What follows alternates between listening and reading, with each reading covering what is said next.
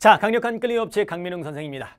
2019학년도 6월 평가원 모의고사 보느라고 수고 많으셨습니다. 자, 이 캐스트는 6평 물리원에 대한 분석과 전략 캐스트가 되겠어요. 어, 뭐 시험 보셔서 여러분들이 어떤 문제가 나왔는지는 뭐 다 알고 계시겠지만 전체적으로 어, 이번 6월 어, 평가원 모의고사의 어떤 경향 그리고 이 경향에 대해서 여러분이 어떻게 대비를 해 나가는가 학습법 이런 것들 위주로 설명을 해드리도록 하겠습니다. 자 먼저 음, 매우 다양한 학생들이 현재 질문 게시판에 상담글을 올리고 있어요. 정말 다양하네요. 이제 에, 공부를 시작하는 물리원 공부를 시작하는 학생들도 있고 그리고 어느 정도 수준까지 도달해서 지금 수능을 보아도 문제가 없는 사람들도 있습니다. 정말 다양합니다. 그 중간에 껴있는 사람도 있고요. 자, 따라서 이 캐스트 하나가 여러분들에게 뭐 모든 학생들을 만족시키는 어떤 아, 그런 내용을 담고 있긴 힘들겠지만 그래도 짧게 전반적으로 한번 말씀을 드리도록 하겠습니다. 자 일단 물리원 모의고사 아, 거의 평소에 여러분들이 예상해 왔던 바와 동일하게 출제가 되었어요. 늘 얘기하던 방식대로 출제가 되었죠. 문항 구성 다릅니까? 뭐 여러분들이 세보진 않았겠지만 6545로 아, 동일하게 출제가 되었어요. 뭐 작년에도 그랬고 여러분들이 예상 모의고사를 풀더라도 대부분 물리원 같은 경우는 1단원, 2단원, 3단원, 4단원이 6545로 구성이 되고요. 동일하게 출제가 되었습니다. 어, 또한 당연하게도 4페이지 가장 어려웠죠. 20번의 킬러 문제가 자리를 잡고 있는데 19번, 20번에 여러분들 시험 보셔서 알겠지만 마찬가지로 20번의 뉴턴 역학 최고 난도 문제가 포함이 되어 있었습니다. 아, 실제로 많이 틀린 것도 20번을 가장 많이 틀렸고요. 그리고 19번 유체역학이죠. 그렇죠? 유체역학 같은 경우는 어렵게 나오긴 했으나 어떤 아주 깊은 사고력을 요하진 않았었고요. 그리고 18번 돌림이 문제 여러분 상황을 해석하는 능력이 좀 필요했다. 이 세 개의 문제가 어, 예상했던 대로 돌림임, 유체, 뉴턴 역학, 킬러 문제로 어, 출제가 되었습니다. 그럼 여러분들이 이제 풀고 나서 어떤 학생들은 뭐 거침없이 풀고 다 맞은 사람도 있을 거고 어떤 학생들은 제대로 풀지 못하고 시간 분배에 실패하고 결국은 음, 좋지 못한 음, 결과를 얻은 사람도 있을 거야. 또는 정말 잘 봤을 거라고 생각을 하고 가채점을 해보았는데 실제로는 상당히 못 본 이런 학생들도 있을 겁니다. 그럼 여러분들이 이 6월 평가 모의고사 뭐 중요하다 중요하다 말은 많지만 그 의미는 어떻게 받아들여야 되는가? 당연하죠. 바로 이 6평을 수능 시험을 위해서 평가원이 공지를 하는 것이기 때문에 여기서 여러분들이 부족한 것들을 자꾸 보완하는 건 당연한 거 아니겠습니까? 지금 뭐 모든 선생님들이 다 그 얘기하고 있잖아요. 다만 이제 물리는 또 특이성이 있습니다. 자, 첫 번째. 한마디로 이번 유평 물리원을 에, 표현한다면 평이했어요. 그렇죠? 평이했습니다. 물론 어떤 학생들은 상당히 어렵게 느낀 사람도 있겠지만 일반적으로 평이하게 평소보다 어렵지도 평소보다 쉽지도 않게 출제가 되었습니다. 일부 학생들이 쉽다고 생각하는 사람도 있을 거야. 그렇죠. 뭐 제가 계속 만들어내고 있는 모의고사에 비교해서도 상당히 쉽다고 느끼는 사람도 있겠지만 그건 뭐 제 모의고사가 그렇게 만들어진 거고 수능으로 간다면 어, 지금 1등급 컷이 44점 정도로 예상, 예상이, 예상이 되고 있지 않습니까? 44, 44면 뭐 거의 뭐 물리원이 1등급 컷이 44. 그렇죠? 예, 수능도 44. 조금 쉬웠다 그러면 45, 조금 어려웠다 그러면 43. 여기서 왔다 갔다 하고 있지 않습니까? 그렇죠? 2등급도 40점. 이 정도로 어, 예상이 되기 때문에 에, 일단 실루엣 자체는 매우 평이했었다. 그럼 평이했다면 대부분 여러분 열심히 공부한 학생들은 1, 2등급이 나와야 되는데 그렇지 못한 사람이 있죠. 그렇죠? 그럼 가만히 이 문제들을 잘 보면 어떤 것이 중요했는가 이번 시험에서 그런 것들을 여러분들이 캐치할 수 있는데요. 제가 한번 정리를 해드리도록 할게. 자, 첫 번째는 기본에 충실한 학습이 매우 중요하다는 걸 여러분이 느꼈을 거예요. 그렇죠? 실제로 보면 가장 많이 틀린 게 이제 20번. 그래, 20번 같은 경우는 킬러 뉴턴 역학으로 많은 연습이 필요한 문제가 맞습니다. 그리고 18번 돌림이 문제. 상황을 해석해서 여러분들이 그 상황을 해석했을 때 문제가 쉽게 풀리는 단서가 포함되어 있죠. 그렇죠? 그런 것들도 사실 문제 자체는 쉬운, 쉬운데 그걸 찾아나갈 때까지 여러분들이 많은 노력이 필요해요. 그렇다면 그 두 문제를 제외한 나머지 문제가 과연 여러분들의 어마어마한 물리적 감각과 센스를 원하는가? 그렇습니까? 그렇게 느꼈어요? 그렇지 않습니다. 이건 이번 시험뿐 아니라 매번 평가원에서 출제하고 있는 시험이 다 마찬가지야. 어, 두 문제에서 세 문제, 만점을 위해서 꾸준한 연습이 필요한 문제가 두 문제에서 세 문제라고 하면 기본에 충실한 학습만으로도 여러분들이 17문제에서 18문제를 맞출 수가 있어요. 음? 그렇다면 여러분들이 바로 그 중위권 학생들이라고 한다면 이번 시험을 여러분들이 실력을 뽑아내어서 2등급을 맞고 싶었다. 중위권 학생들이. 그랬다고 한다면 사실 이 만점을 위한 문제들을 제외하고 나머지 문제들만 다 실수 없이 맞췄어도 1등급까지도 바라볼 수 있었던 그렇죠. 3점짜리 두 개를 틀려도 현재 예상으로는 1등급이기 때문에 실수만 없이 다 풀었어도 기본에 충실한 사고력이 너무 필요하지 않은 알고 있으면 풀어내는 그런 문제들을 여러분이 다 맞았어도 1등급이 나왔고 이거는 수능으로 가도 물리는 다르지 않아요.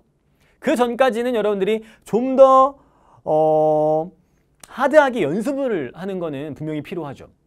그렇죠? 수능보다 더 어려운 난이도로 계속 이 연습을 하는 거는 분명히 필요합니다. 그건 왜 그런지는 알지. 수능으로 왔을 때 여러분들이 훨씬 더 쉽게 문제를 해결할 수 있게 하기 위해서죠. 그러나 사실 실제 시험 자체는 바로 이런 구성을 가지고 있다는 얘기야. 그렇기 때문에 여러분들이 좀 이따 뭐 퀘스천에 대한 얘기가 아닌데 개념학습이 이제 6월 정도, 6월 초인데 지금 6월 초에 이미 막 게시판을 통해서 개념학습을 하는 게 늦었는가 이런 질문들이 쏟아지고 있습니다. 그걸 한번 생각을 해보자. 사실 뭐 개념과 기출 공부를 하는 거는 말이야 여러분들이 음, 단기간에도 가능할 수도 있어요. 그렇죠? 한 3개월. 여러분들이 집중해서 한다고 하면 사실 뭐 2개월만 해도 개념과 기출을 같이 다 공부해낼 수도 있단 말이야. 반수생 같은 학생들이 지금 이런 얘기 많이 하거든요. 개념학 늦었는가. 그 반수생 같은 경우는 이제 6월 달에 시작하잖아요. 그렇죠? 새롭게. 시작을 할 때 대단히 많은 시간을 투자할 수 있거든. 그렇다면 사실은 7월 말, 길게 잡아도 8월 말까지는 여러분들이 개념과 기출 공부를 할 수 있다는 거야. 그럼 과연 그런 걸 했을 때 여러분 18문제를 맞출 수 있게 되는데 그걸 제대로 하는 게 과연 늦은 시기인가? 어, 전체적인 어떤 커리큘럼으로 간다면 분명히 이게 일반적인 학생들한테는 좀 느린 에, 시기가 맞긴 맞습니다. 그렇죠? 고3 같은 경우는 12월부터 사실은 준비를 해 나가잖아. 근데 물리를 새로 선택한 학생들도 지금 이 시기에 이런 고민을 좀 하고 그러거든요. 그럼 조금 더 투자하면 돼. 모든 과목을 다 지금부터 시작하진 않을 거 아니야. 어떤 과목들은 이미 어느 정도 수준까지 올라와 있고 어떤 과목들은 좀 안 돼 있고 그 안 돼 있는 것들을 질문을 했겠죠. 그러니까 잘 생각을 해보란 말이야. 지금 이번 유평을 여러분들이 어떻게 대비를 했는가? 어떻게 대비를 했는가? 어? 이 18문제를 다 맞추기 위한 공부를 했는지 아니면 이런 것들은 제껴두고 여기에 여러분들이 혹시 목매달진 않았는가? 무슨 말인지 알죠? 그런 것들에 대해서 여러분이 생각을 좀 해보셔야 돼요. 가장 바탕이 되는 거는 전체적인 전범위에 대해서 고르게 학습한 것이 맞겠죠. 그렇죠? 그 상태에서 여러분들은 킬러 문제들을 풀기 위한 노력을 했을 거야. 또한 하지 않은 사람은 앞으로 해야 하겠지. 그렇죠? 그런 것들을 좀 생각을 해보란 말이야. 그리고 부족한 것들을 보완해 나가면 되는 거야. 자, 그럼 자, 이 시험을 보게 되면 기본에 충실한 학습이 필요하다는 건 당연한 거고 그게 이미 되어 있는 사람들은 만점을 위한 꾸준함이 필요하죠. 킬러 문제들 사고력은 이게 그냥 안다고 풀리는 게 아니지 않습니까? 많은 연습을 하셔야 돼. 이런 유형이 있고 저런 유형이 있으면 그런 것들을 계속 다양하게 연습을 하다 보면 어, 평가원에서 약간씩 비튼 문제, 다양해진 문제 이런 것들에 대한 대응력이 높아지기 때문에 또한 제가 그 6평 전에 바로 직전에 그 시간을 줄이는 방법 매년 제가 얘기하는 그 15, 15 실전 풀이법에 대한 얘기예요. 작년 같은 경우는 제가 9평 직전에 여러분들이 소개를 한번 했다면 아직도 아마 그 캐스트가 남아있을 거야. 이번에는 6평 전에 한번 여러분들이 에, 자기 실력도 못 보는 학생들이 있기 때문에 이 시간을 줄이는 방법은 사실은 뭐 시간을 대폭 단축해서 10분이 남는다 다 푸니까 이게 아니잖아요. 그렇죠? 효율적으로 시간을 확보하는 방법에 대한 캐스트를 올렸던 것인데 에, 그런 skill이 필요한 사람도 있어. 오늘도 질문 답변 이렇게 달고 있는데 상담 음, 질문에 대해서는 어, 상담 질문은 최대한 제가 달려고 노력을 하거든요. 이 상담에 대한 어, 답변을 오늘도 달고 있었단 말이야. 오늘이 에, 6평 다음 날이거든요. 다음 날인데 달고 있었는데 거기에 그런 얘기가 나오는 거야 진짜 뭐 그거 지금 보고 있는 학생일 수도 있는데 이름을 예, 이름은 외우진 못했어요 있을 수 있는데 보고 있을 수 있는데 에, 바로 그 내가 봤을 때는 다 맞췄어야 돼 거의 40점에 육박한 점수를 맞췄어야 되는데 그렇지 못한 40점은 넘었어야 될 것 같은 아, 좀 안타까운 거죠. 그렇죠? 그런 학생들이 이제 물리적인 어떤 reading skill, 읽는 스킬 이런 것들이 좀 필요하다. 알겠죠? 물리는 그 그게 되게 중요해요. 국어적인 내용도 분명히 중요하단 말이에요. 여러분들이 무슨 뭐 기다란 국어처럼 지문을 읽는 건 아니지만 문제 하나하나를 잘 꼼꼼하게 읽고 그래서 내가 그 얘기를 했던 거 아니에요. 꼼꼼하게 읽어라. 꼼꼼하게 읽고 그 조건들을 놓치지 않게 하기 위해서 여러분 연습을 해 두셔야 된다. 지금 당장 하나만 좀 지켜줘. 끊어읽기 좀 해, 끊어읽기.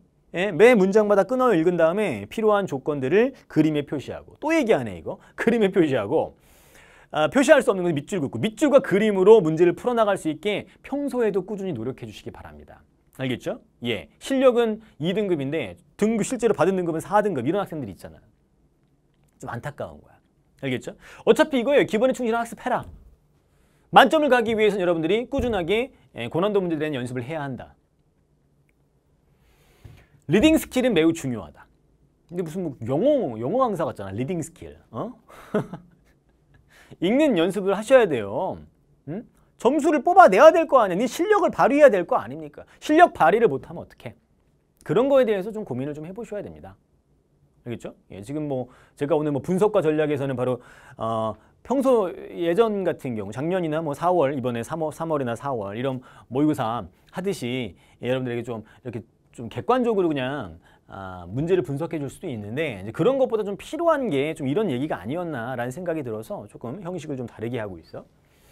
자, 그럼 이제 퀘스천 두 가지만 한번 볼게요. 아까 얘기했듯이 요즘에 질문이 많이 나오고 있는 개념학습이 늦었는가. 어, 개념학습만 가지고도 18개를 맞을 수 있다라고 저는 확신하는 사람이에요. 문제지를 다시 한번 펼쳐봐. 여러분들이. 얼마나 많은 사고력을 필요로 하는 문제들이 출제가 되었는가. 응? 알기만 하면 풀 수 있는 문제들이 얼마나 많은지를 한번 보란 말이야. 그렇다면 여러분이 수능을 준비하는 과학탐구, 수능을, 수능에서 과학탐구를 준비해가는 과정에서 150일 이상 남은 이 상황 하에서 여러분들이 물리원을 봐야 된다. 그게 뭐 어떤 상황이든지 간에 여러분이 반수를 시작하든 뭐 다른 과목을 물리원으로 바꿨든 음? 군대 갔다 와서 지금 시작을 하든 아니면 지금까지 잘 해왔든 결국은 개념학습이 잘 되어 있어야 되는데 그거는 전 진짜 8월 말까지 늦었다고 생각하는 사람은 아닙니다. 아까도 얘기했지만 고3 같은 경우는 여러 가지 할 게 많아. 내신도 하고 이것도 하고 저것도 하고 막 저것도 해야 되기 때문에 12월부터 하는 게 사실 어쩌면 맞을 수 있는데 그렇게 못하고 지금 다시 바꾼 사람들은 분명히 여기에 뭐가 다른 변수가 생긴 거잖아. 그런 변수가 생긴 상황에서 시간 확보만 여러분들이 할 수만 있다면 시간 확보만 할 수 있다면 이건 뭐 늦었다라고 판단할 수는 없는 거예요. 여러분들이 조바심만 내지 않는다면 충분히 지금 늦지 않았다. 다만 어, 효율적인 공부를 좀 해줘야 돼. 개념학습이 안 되어 있고 지금 시작을 하는 사람들은 개념과 기출을 함께 병행할 수 있는 방식을 좀 생각을 해보셔야 되겠고 이 두 개가 같이 되어 있어야 돼. 그래서 여러분들이 뭐 제 개념학습 공부할 때 이제 워크북도 있고 막 이러잖아요. 그렇죠? 그럴 때 지금 시작하는 학생들은 당연히 개념과 기출, 문제 두 가지를 가지고 워크북보다는 이 두 가지로 하는 게 좀 더 효율적이고 이런 것들을 수능을 향해서 구평을 목표로 하지 말고 수능을 향해서 여러분들이 스케줄을 잡아주셔야 돼. 그래서 구평 점수 막 아, 이 그때 또 지금처럼 유평처럼 막 엄청난 기대를 하고 배신당하고 이러지 말고 수능에서 나의 포텐, 퍼텐셜이 터진다. 라고 생각을 하고 공부를 해 나가셔야 되겠고 혹시 지금 잘 돼 있는 사람들은 바로 또 하나 여기서 느끼는 바가 있어야 됩니다. 바로 내가 부족한 개념이 있다면 지금 보완을 해야 할 때이다. 라는 거. 알겠죠? 음, 그건 뭐, 아, 뭐 지엽 주제든지 간에 그렇죠? 뭐전 지엽이라는 단어 별로 좋아하지 않는데 비주류 문제들 있잖아. 예, 교과서엔 있으나 출제 빈도가 낮은 이런 것들을 비주류라고 그러기 비주류 문제들에 대한 공부를 하든 아니면 이제 굵직굵직한 출제가 많이 되는 음, 빈출 주제에 대해서 여러분들이 보완을 하든 각자 그런 것들을 해주셔야 한다. 자 그리고 이런 얘기가 있어요. 여기 질문 중에 이제 선킬러, 후지엽 이런 질문이 한번 올라왔었는데 제 이거에 대해서 참 재밌었어요. 이게 선킬러, 킬러를 먼저 공부해야 되는가, 지엽을 먼저 공부를 해야 되는가. 지엽적인 건 아까도 말씀드렸듯이 출제 빈도는 낮으나 출제될 수 있는 교과서 내에 있는 내용들을 말하겠지. 자 이런 거 한번 생각해 봤죠, 여러분들도 그렇죠? 음. 그러면 전 당연히 이렇게 얘기를 하고 싶어. 지금 계속 같은 맥락인데요. 전체적으로 고르게 공부를 하는 시간은 반드시 필요합니다. 전범위에 대해서 고르게 공부를 한 다음에 고르게 고르게 학습을 했어. 자, 이건 이제 지엽이든 킬러든 다 들어가 있는 학습을 했다라는 거죠. 응? 괜찮습니까? 자, 잘 봐. 이 순서가 있어. 야, 이걸 한 다음에 여러분들이 지엽이라는 건 이제 비주류 문제들이잖아. 비주류. 비주류 문제들. 출제가 잘 안 돼. 그러나 혹시 몰라. 이런 것들을 여러분들이 먼저 학습을 하게 되면 이미 공부한 기억은 다 남아 있고, 그렇죠? 중요도는 별로 떨어지니까 그거에 대해서 동기부여도 잘 안 된단 말이야.